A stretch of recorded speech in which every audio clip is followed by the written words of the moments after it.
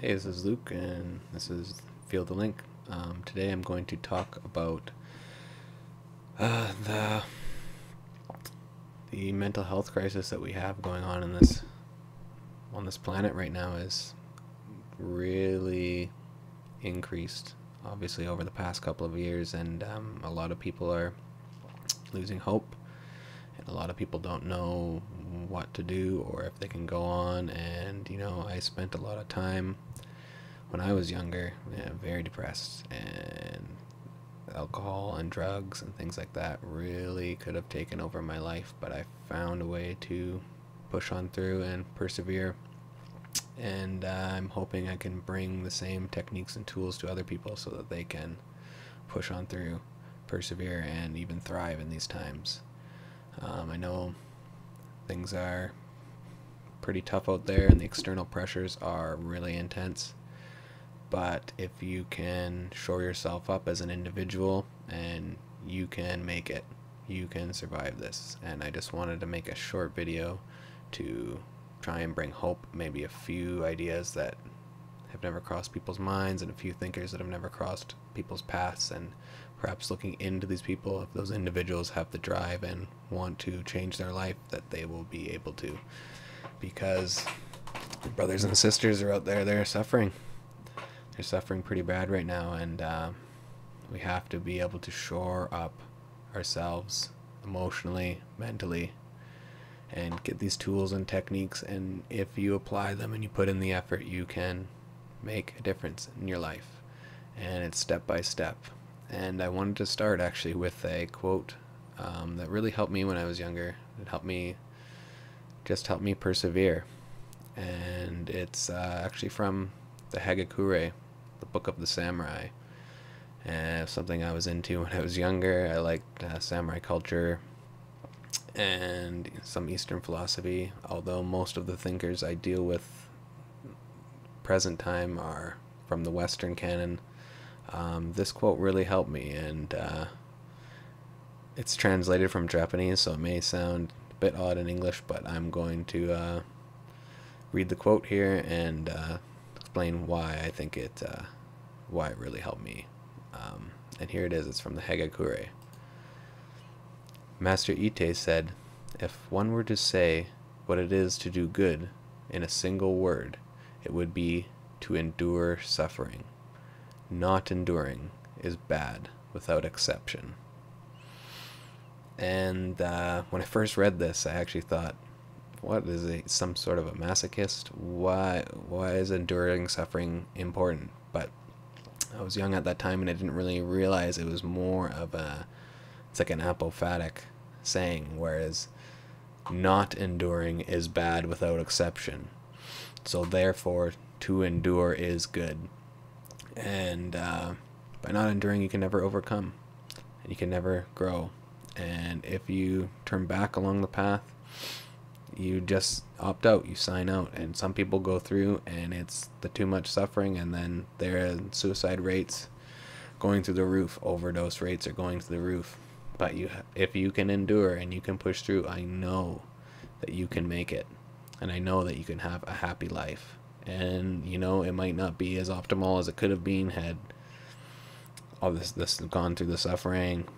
If you're an alcoholic or a drug addict of course your health is going to be more damaged and there's many things you can do to get back on top of that but i just wanted to put that out there just endure just you can make it you can make it through and that quote for some reason when i was at my lowest i just thought not enduring is bad without exception. And so I just kept pushing through. And now I have an amazing life that I never could have dreamed of.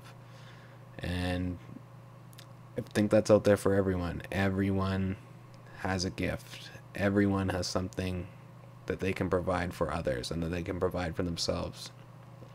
And if you can just get through the hard times there is light on the other end of the tunnel, and I know that you can make it. And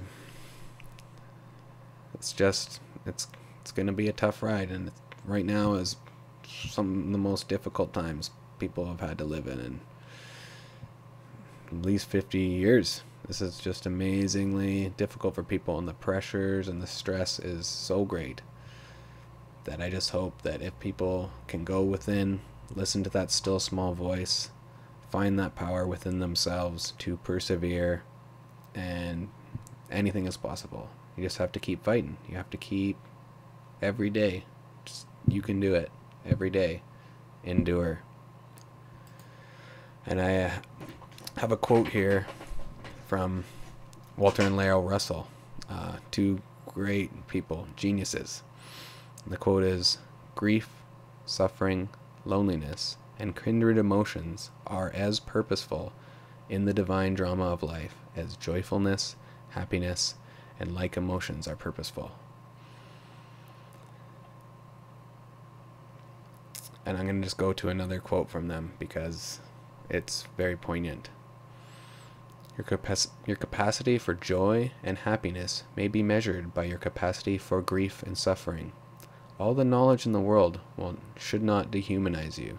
Your knowledge will, however, balance all opposite emotions and thus enrich you for having them, experience them, while ignorance will breed fears, worries, superstitions, and other unnatural emotions, which act, which act as terrible burdens to your progress. Ignorance will breed fear, so knowledge is what is going to help you. But knowledge of self, focus on your emotions, focus on.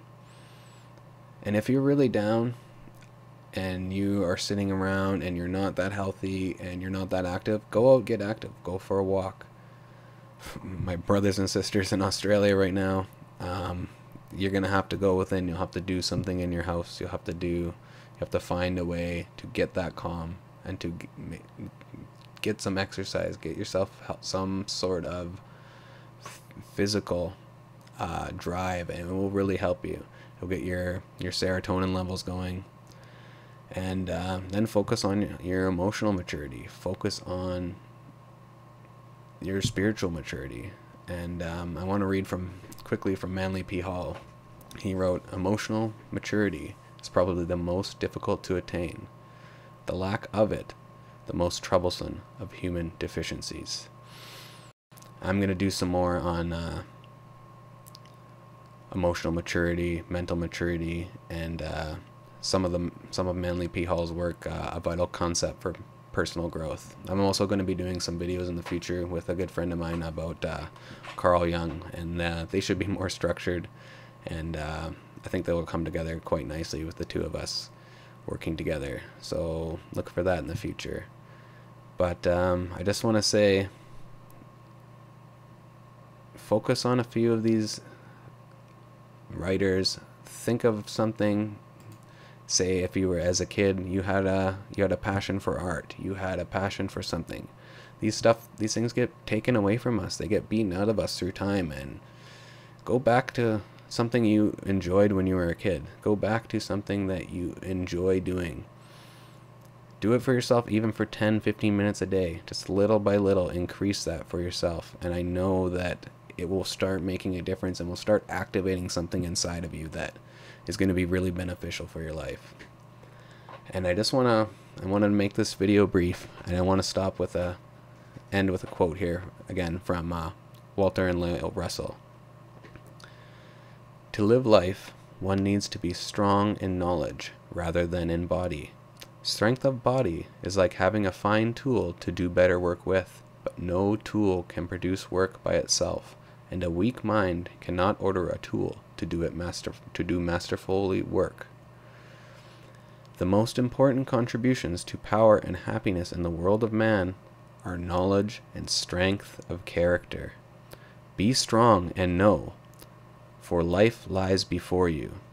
You have to live it. You cannot evade it. Why not, therefore, live it masterfully?